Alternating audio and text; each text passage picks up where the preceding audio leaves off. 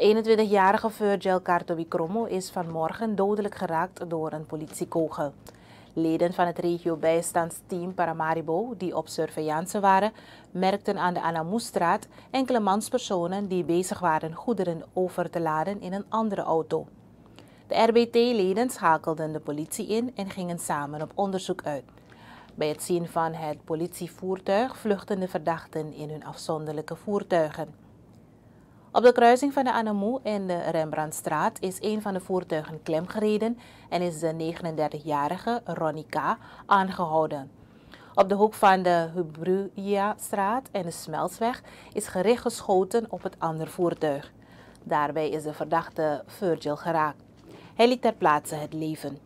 In een van de voertuigen zijn onder andere 200 lips gascilinders aangetroffen die in beslag zijn genomen. Het onderzoek in deze zaak is overgedragen aan de afdeling kapitale delicten.